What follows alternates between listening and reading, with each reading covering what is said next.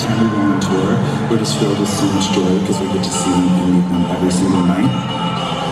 It's honestly so incredible to look out into the crowd and see such diversity. Um, I don't think I've ever experienced that at any show. It's actually the craziest demographic. I remember seeing a grandmother, a mother, and their daughter all coming and saying, thank you so much for the music that you put out because this is the only thing that we all agree on. That's just kind the power of music. I never thought that I would be able to touch so many people's hearts and lives with our music, and I never thought that so many people and so many of their own stories would touch my life and my heart. And we get so much energy from our fans. I still can't believe that I get to do this for a living. It's crazy.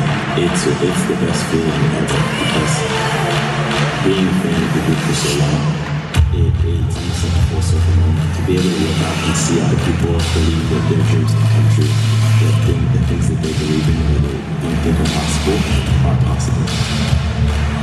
It's just crazy to think about and see our whole journey has been. We have been through so many ups and downs, and I feel like we are proof that no matter how many obstacles you come across, you can still thrive, and I think that's really beautiful. This group of people is very special. It feels like fate, and to be a part of this is something that I will cherish for the rest of my life.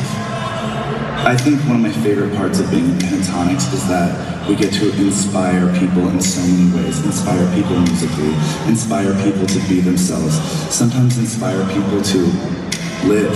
And I, I think that's really, really powerful. And it makes me and the whole group feel like we have a profound purpose.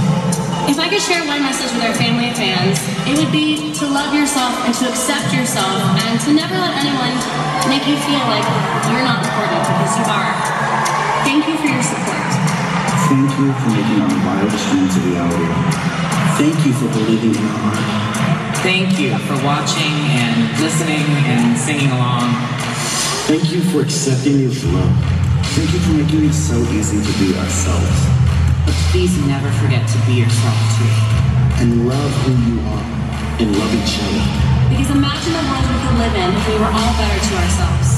To our planet, to our family, and to each other. Imagine.